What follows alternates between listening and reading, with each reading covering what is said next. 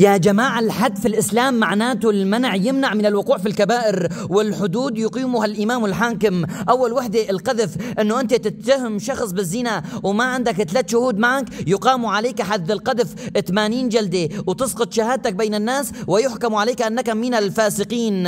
أما السرقة قطع اليد لقول الله والسارق والسارقة فاقطعوا أيديهما. وقال النبي في صحيح البخاري لعن الله السارق يسرق البيضة فتقطع يده يده ويسرق الحبل فتقطع يده ويلي يرتد عن دينه يكفر بالإسلام يتركه نهائيا يقام عليه الحد وهو القتل لقول النبي في البخاري من بدل دينه فاقتلوه وحد الزنا إذا كان متزوج الرجم حتى الموت إذا كان أعزب مئة جلدة وتغريبه عن مكانه سنة.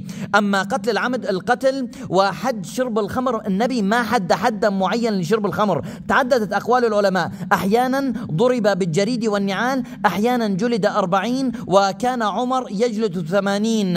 أما حد الحرابة قال الله إنما جزاء الذين يحاربون الله ورسوله ويسعون في الأرض فسادا أن يقتلوا أو يصلبوا أو تقطع أيديهم وأرجلهم من خلاف أو ينفوا من الأرض. هذا والله أعلم. سلام عليكم.